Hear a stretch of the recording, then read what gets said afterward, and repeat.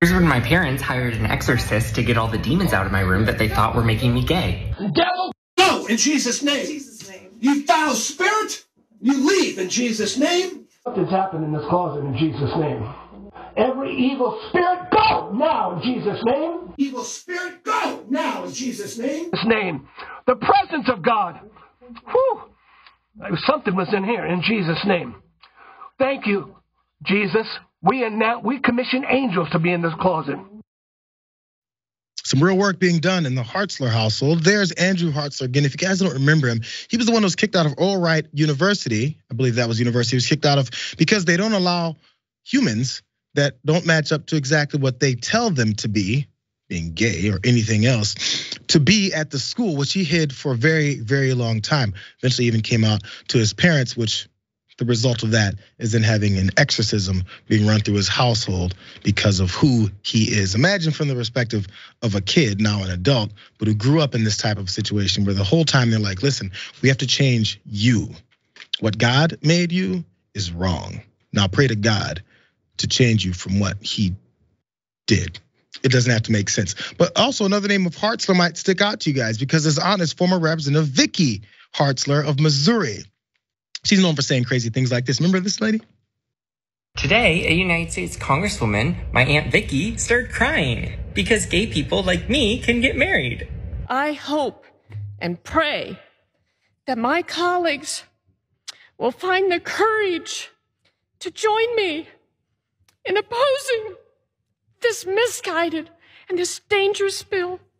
I yield back. So, despite coming out to my aunt this past February, I guess she's still just as much as a homophobe. The bill's implications submit to our ideology or be silenced. It's more like you want the power to force your religious beliefs onto everyone else. And because you don't have that power, you feel like you're being silenced. But you're not. You're just gonna have to learn to coexist with all of us. Here's a question I have, uh, Burbank, to start off before we go to the more details of what uh, has happened to Andrew throughout his life, because we recapped a little bit, but there's even more sense. Because this is the latest, the exorcism uh, throughout the house. So, say that people, there's people go into these things understanding that this is reality.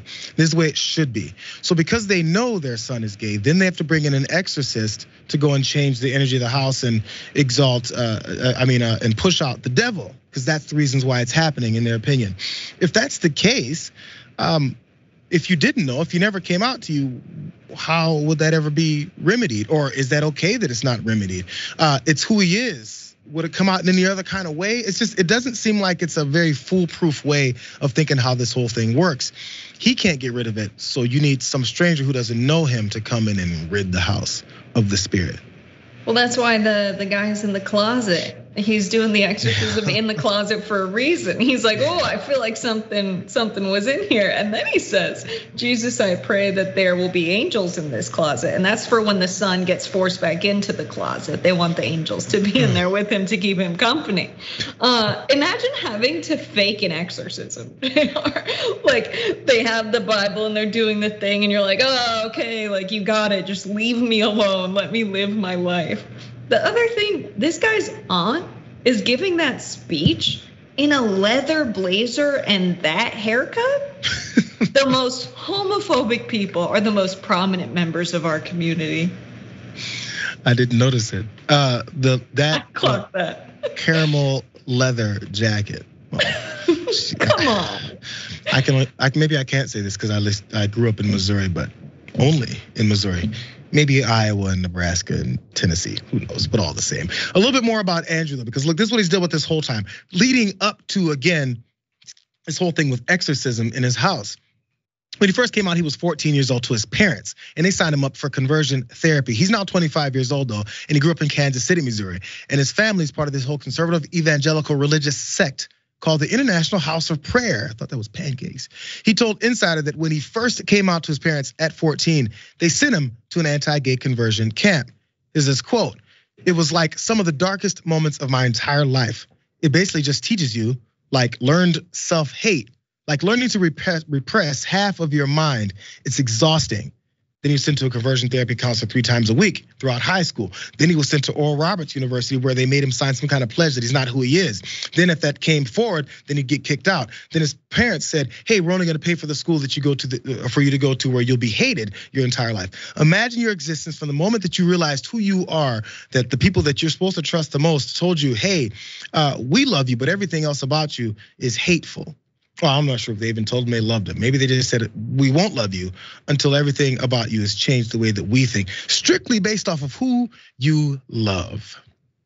That's the basis, nothing else. Not not his grades when he got to that university, not any uh, uh, uh, uh any other uh, accomplishments he made outside of school, not any things he's done to make them proud. It's about thinking about his penis and where he's attracted to people. That's what his parents are thinking about. That's what they're concerned with, and it's odd for them uh, that he's not like them.